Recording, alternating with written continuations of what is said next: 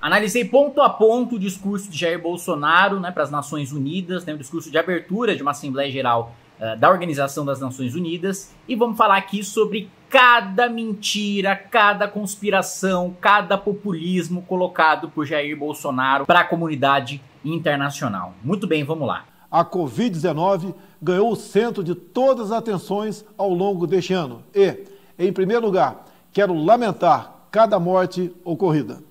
Antes de qualquer coisa, ele começa lamentando as mortes pelo coronavírus. É engraçado como para fora ele começa lamentando profundamente as mortes, mas para dentro ele fala que é uma gripezinha, que ele não é coveiro, né? Fala, e daí? Morreram 100 mil, e daí? Não admite que a sua previsão inicialmente, lá no começo, Bolsonaro tinha dito que o coronavírus ia matar só 800 pessoas, que ia matar menos do que a gripe suína, né? Tava seguindo ali os conselhos também de Osmar Terra. Isso ele não não diz, né? Para fora ele finge que tá preocupado com as mortes, para dentro ele mostra o seu verdadeiro eu. Para além disso, né? Depois disso, ele já vai falar sobre aquela mentira que ele vive repetindo de que o Supremo Tribunal Federal tirou os poderes do presidente da República de atuar na saúde pública durante a pandemia e passou tudo para os governadores. Por decisão judicial, todas as medidas de isolamento e restrições de liberdade foram delegadas a cada um dos 27 governadores das unidades da federação. Ao presidente coube envio de recursos e meios a todo o país. Mentira! O que o Supremo Tribunal Federal decidiu é que os governadores e os prefeitos poderiam também tomar medidas de isolamento e de distanciamento social. Porém, caso o presidente da República determinasse lockdown, distanciamento, isolamento social, os governadores e os prefeitos seriam obrigados a obedecer. Poder que o presidente Jair Bolsonaro não utilizou e que acarretou mais de 100 mil mortos, como nós estamos vendo a cada dia o número de mortos se mantém infelizmente constante. É mentira que o Supremo Tribunal Federal tirou os poderes do presidente da República para atuar na saúde pública durante a pandemia. O Supremo tomou uma decisão correta, constitucional, e o que o texto da Constituição diz é que a competência, ou seja, os poderes para atuar em relação à segurança, à saúde pública é concorrente, ou seja, estados, municípios e União, governo federal compartilham dos poderes para promover a saúde pública, assim como acontece, por exemplo, na defesa do meio ambiente. E o Bolsonaro fala sobre o meio ambiente, mas a gente vai entrar nesse assunto logo logo. Ainda que o Supremo Tribunal Federal tivesse tirado os poderes do presidente da República,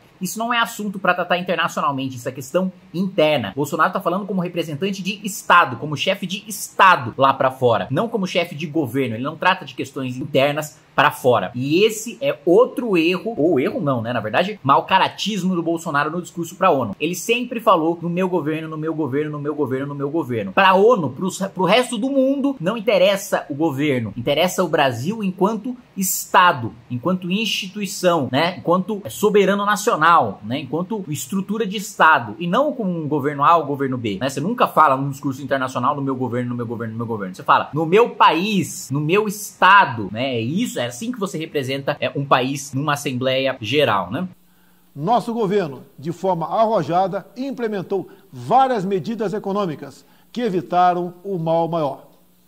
Concedeu auxílio emergencial em parcelas que somam aproximadamente mil dólares para 65 milhões de pessoas depois, Bolsonaro diz né, que seus programas sociais, né, aprovados por ele, implementados por ele, foram é, equivalentes aí no total a mil dólares, né? Mil dólares se a gente chutar para baixo, arredondar para baixo, né? Porque o dólar a gente já sabe muito bem da política do Paulo Guedes, né? De estourar o dólar empregada no ir para Disney é, e que ele diz que é uma maravilha para o país, tá com o dólar estourado, né? Com, as, com os insumos destruindo a indústria brasileira, os insumos dolarizados, nossa competitividade lá no chão, mas enfim, esse assunto para outro vídeo mil dólares, 5 mil reais, chutando baixo, sendo bem generoso, daria aí 5 mil reais uh, em programas sociais. Esse dinheiro não foi dado. Bolsonaro pagou no máximo ali por pessoas com auxílio emergencial e vai pagar até o final do ano. Vamos pegar ali parcelas de 600, três parcelas de 600, três parcelas de 300, vamos 1.800 reais, mais uh, uh, 200, 2.000, 2.400, 2.600. Vamos chutar alto. Bolsonaro pagou 3 mil mil reais no máximo por indivíduo. Muito longe dos mil dólares que ele colocou no discurso na Assembleia da ONU. E para mais do que isso, né? Vamos lembrar que o projeto do Bolsonaro era 200 reais durante a pandemia e foi o Congresso Nacional que aprovou o valor de 600 reais. Isso ele não fala. Aí o, o Bolsonaro fala sobre o seu cuidado, né, com 200 mil famílias indígenas. Assistiu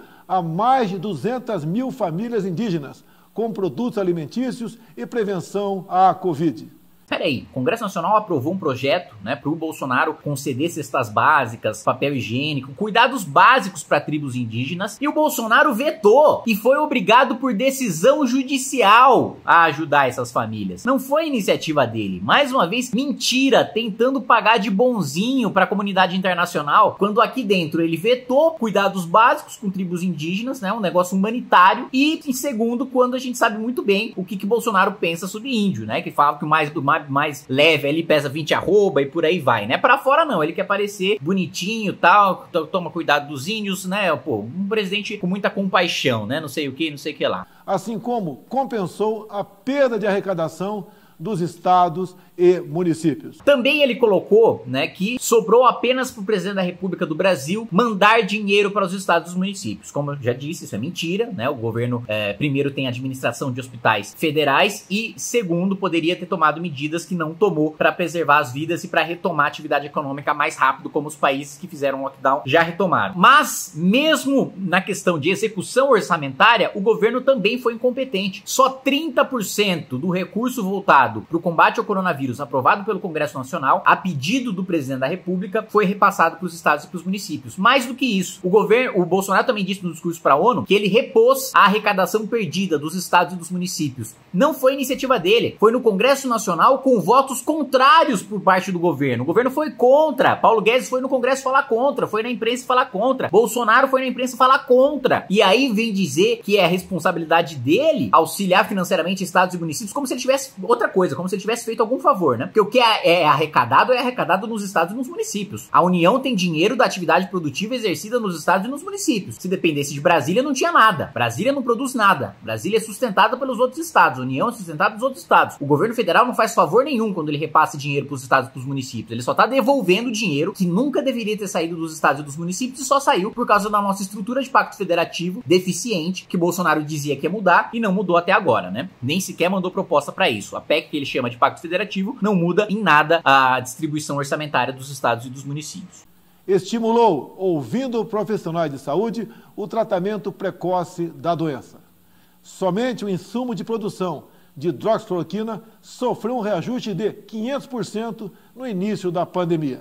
E aí ele reclama, né, que os insumos para produzir cloroquina aumentaram 500%. Pô, será que os insumos ficaram caros porque você foi um débil mental de, enquanto presidente da república, mandar fazer uma hiperprodução de um medicamento? Não é que não tem eficácia comprovada, tem a não eficácia comprovada, tem estudo mostrando que mais atrapalha do que ajuda. Aí você vai na comunidade internacional passar vergonha defendendo esse terraplanismo aí é, é, é, científico de, de, de que cloroquina tratamento precoce. Eu incentivei desde o início o tratamento precoce. Primeiro, quem é Bolsonaro para incentivar tratamento precoce de qualquer coisa? Ele pesquisou o quê? Que, que é? Ele é médico? Ele é especialista? Ele escutou alguém que, fa que falasse isso? Porque a comunidade científica foi no sentido contrário. Não teve estudo que comprovasse a eficácia da cloroquina e mais. Teve estudo mostrando que mais atrapalha do que ajuda, porque gente de grupo de risco usando a cloroquina, principalmente quando tem cardiopatia, quando tem alguma doença do coração, morre do coração usando cloroquina e em vez de morrer pelo coronavírus, morre pelo uso de cloroquina. Gente que não precisaria morrer, morreu pelo uso da cloroquina. Ou se o Bolsonaro estivesse falando de outro tratamento, que outro tratamento? O ozônio retal lá no Rainbow, lá. Então, é, enfim, mais um dos populismos e, da, e das mentiras do Bolsonaro. Os focos criminosos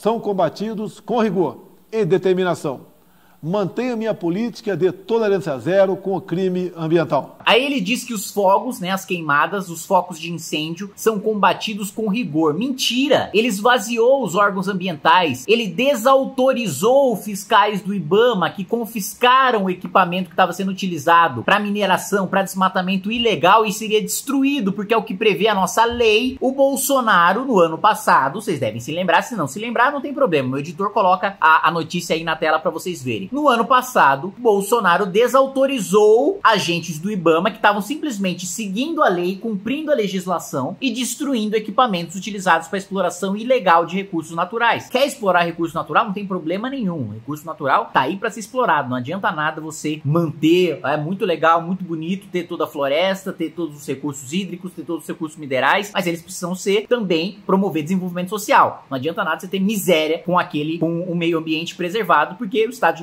natureza do homem é realmente você nascer pelado, passar fome, morrer de malária, morrer de diarreia, né? E é justamente a exploração dos recursos naturais que permite que a gente tenha a vida confortável que a gente tem é, hoje, né? Pelo menos muito melhor do que a gente tinha no feudalismo, por exemplo. Mas isso é assunto para outro vídeo. O que eu quero dizer aqui é o seguinte: explora de acordo com a legislação, porque o Bolsonaro diz que a gente tem a melhor legislação ambiental do mundo.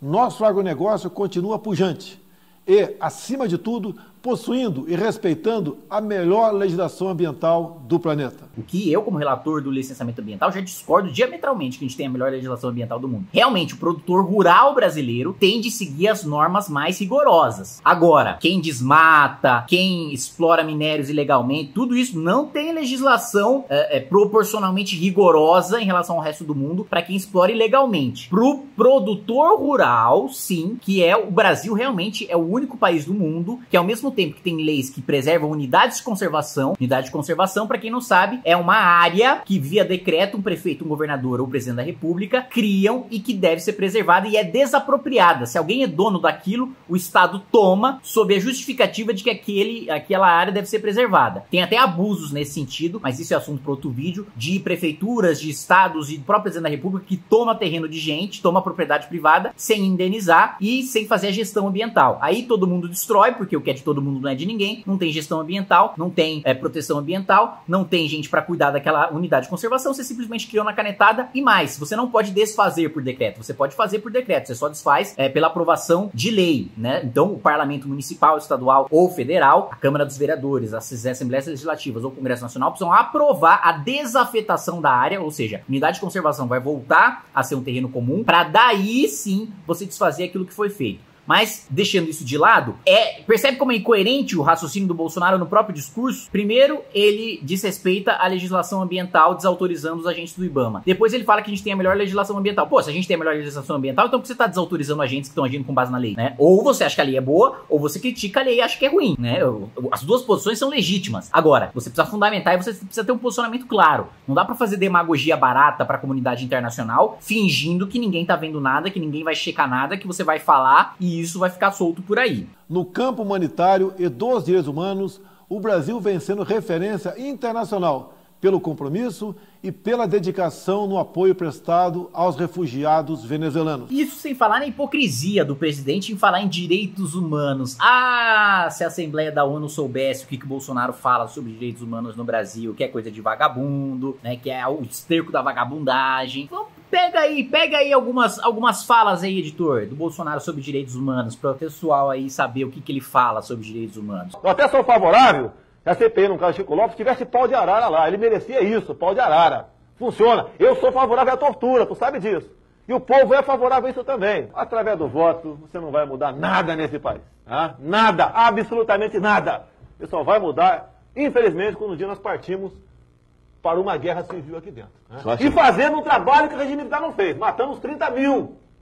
Começando com o FHC. Não deixar para fora, não. Matando. Se vai morrer alguns inocentes, tudo bem. Ignorando completamente que a defesa de direitos humanos é uma defesa historicamente liberal, de direita. O conserva... Uma das razões pelas quais o conservador é conservador é porque ele sabe que toda revolução termina em morte. Toda revolução termina com o, uma chacina da vida, que é um dos principais direitos humanos. Né? E direitos humanos porque são de todos, independentemente de raça, de crença, de cor, de credo, de partido político, coisa que né, é completamente sistematicamente desrespeitado por revolucionários, socialistas, comunistas, fascistas, nazistas, pessoas que defendem regimes autoritários ou totalitários. A defesa dos direitos humanos é eminentemente liberal. Todo mundo passou a ser igual perante a lei quando a burguesia ascendeu ao poder, ou pelo menos esse ideal de igualdade perante a lei só se tornou é, é, patente dominante na sociedade quando a burguesia ascendeu ao poder, derrubando os privilégios da nobreza e da monarquia para então instaurar o regime capitalista, né? A burguesia pós-revolução industrial, instaurando o capitalismo, o liberalismo. Stuart Mill, um liberal clássico, defendendo o direito das mulheres, né? Ah, mas direito das mulheres é coisa de, de, de, feminista comunista. Nada disso, meu amigo. Direito da mulher é coisa de liberal. Stuart Mill defendeu que a mulher tivesse propriedade privada, foi vanguardista na defesa do direito de propriedade das mulheres. Antes, o homem era dono do filho, era dono da mulher. Ele precisava dar autorização para a mulher trabalhar. Então, foi a partir do liberalismo econômico e político de Stuart Mill que os ideais de direito de propriedade da mulher, inclusive propriedade sobre o próprio trabalho, avançaram. Mais do que isso, né? Direitos humanos de primeira geração são exatamente os valores liberais e conservadores defendidos por aqueles que sabem o que estão falando quando falam sobre liberalismo, sobre conservadorismo. Os direitos humanos de primeira geração, direito à vida, direito à liberdade, fundamental para o liberalismo e para o conservadorismo, e o direito da propriedade, fundamental para o liberalismo para o conservadorismo. Propriedade dos principais direitos humanos, um dos direitos humanos mais fundamentais da nossa sociedade e da civilização ocidental. Porém, Bolsonaro ignora completamente isso e resume direitos humanos a meia dúzia de ONGs que ele detesta e que ele vive xingando, como se é, direitos humanos se resumissem, né, como se quem defendesse direitos humanos fosse é, defensor de bandido, defensor de vagabundo, como se quem defendesse direitos humanos sempre queira defenda impunidade. Existe sim gente que defende impunidade, gente que defende desencarceramento, né, gente que não acredita em prisão, gente que acha que, que, a, que a solução não é prender, que não adianta isolar, que não adianta prender, etc. Isso não resume, isso não limita a definição de direitos humanos que é fundamental para o liberalismo, para o conservadorismo. Burke defendia direitos humanos, Thatcher defendia direitos humanos, Reagan defendia direitos humanos. Aliás, em nome dos direitos humanos, Reagan defendeu a queda do muro de Berlim. Tear down this wall, Mr. Gorbachev. Era como ele falava, era o que ele dizia, em defesa dos direitos humanos, direito de propriedade, a liberdade de você poder votar com os pés. Se você não gosta do governante da sua cidade, do seu estado, do seu país, você tem a liberdade de ir e vir, né? A liberdade de você poder dispor do seu patrimônio. Se você tem uma coisa, você pode vender, você pode alugar, você pode fruir daquela coisa. Enfim, a hipocrisia de Bolsonaro que para dentro mostra sua completa ignorância sobre o conceito de direitos humanos e para fora vai falar: "Nós somos grandes respeitadores dos direitos humanos". Falta vergonha na cara. Leitura e vergonha na cara pro Bolsonaro. Concluímos a reforma da previdência e recentemente apresentamos ao Congresso Nacional duas novas reformas: a do sistema tributário e a administrativa. E aí ele vem falar que tem promovido grandes reformas liberais no Brasil. Né? Primeiro, ele fala que mandou reforma administrativa. Que baita reforma liberal, né? Mexendo na base, no professor, no policial, etc. Tirando a estabilidade de todo mundo, né? Pra permitir que o político decida quem fica, quem sai, como se tudo fosse cargo comissionado. Uh, ao mesmo tempo, não mexe com o juiz, com o promotor, com o ministro do Supremo, com o deputado, com o senador, com uh, ministro de Estado, com o presidente da República, enfim, não mexe com ninguém com os altos salários que precisa mexer aqui em Brasília, não mexe com o cargo comissionado, não extinguiu os cargos comissionados que ele prometeu no início do mandato. Lembra daquela fala até do ministro Onix falando, vamos acabar acabar com 10 mil cargos comissionados. Se acabou com mil, foi muito, ainda tem muito cargo para acabar. Não privatizou estatal nenhuma e ainda mandou uma reforma tributária que tem aumento de imposto, que tem imposto cumulativo e desindustrializador, que é a CPMF. Mandou só um terço da reforma, ainda o segundo terço ainda tá para ser mandado, sendo que a gente já tá no segundo ano, já tá dois anos atrasado de quando Paulo Guedes tinha dito, né? O Papinho Guedes, nosso liberal de Taubaté, tinha falado que ia mandar a reforma na semana que vem, tanto administrativa como tributária. Essa semana que vem demorou dois anos e a gente tá aqui com um terço de reforma tributária com uma reforma administrativa que não mexe com privilégio nenhum e que não corta gasto absolutamente nenhum. Portanto, discurso de Bolsonaro na ONU, mentiroso, demagógico, populista, como tem sido o seu governo. Uma farsa, uma traição a quem efetivamente é liberal, é conservador, acredita, né, leu as reflexões de Edmund Burke sobre a Revolução na França e tem um pensamento antirrevolucionário, leu o livro para escolher do Milton Friedman, entende a função do preço do livre mercado, dos incentivos dos agentes econômicos, de administração de empresas, né, por que, que você não deve ter empresas estatais, por que, que o Estado não deve ser empreendedor, por que, que leu Hayek, o caminho da servidão, e entende por que, que um grupo central de burocratas não é capaz de planejar a economia como as milhões de pessoas planejando seus próprios sonhos, suas próprias aspirações, lê o problema do cálculo econômico sobre o socialismo de Mises, entende por que o socialismo não funciona, porque não tem preço, quando você estatiza os meios de produção, não tem oferta e demanda, sem oferta e demanda não tem preço, sem preço não tem planejamento central, sem planejamento central não tem socialismo, sem socialismo não tem comunismo, enfim, uma traição completa e absoluta para o eleitorado, para a classe política que realmente defende valores liberais e defende valores conservadores. Infelizmente, ainda tem gado que apoia. Me lembra muito o Lula no seu primeiro mandato. Tinha escândalo de corrupção, tinha mensalão, tinha isso, tinha aquilo, mas não interessava, o gado estava junto com ele. Acho que é questão de tempo até Bolsonaro desmoronar, como Lula desmoronou.